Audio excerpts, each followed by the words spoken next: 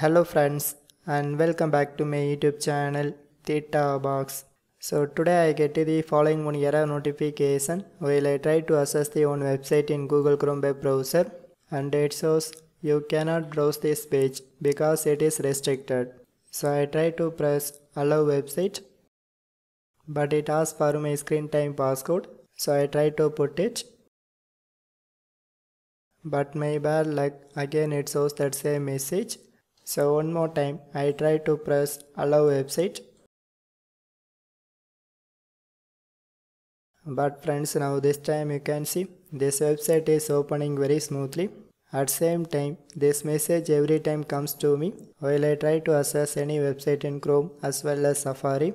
So if you like to fix this problem in permanently just follow me friends.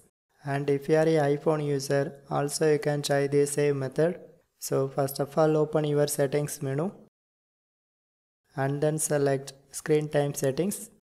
So here I try to access content and privacy restrictions and click on content restrictions. And sometime it asks for your screen time passcode. So just complete that step.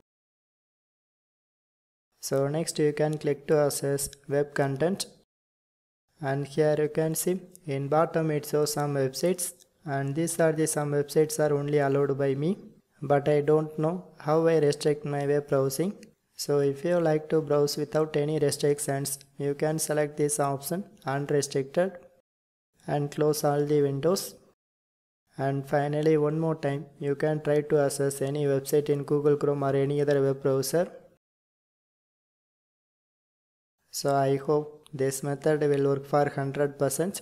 So friends, if you have any doubts, just comment to me. So otherwise, just leave a one like. So for more tech videos, you can subscribe my beautiful tech channel, Theta Box and thanks for watching.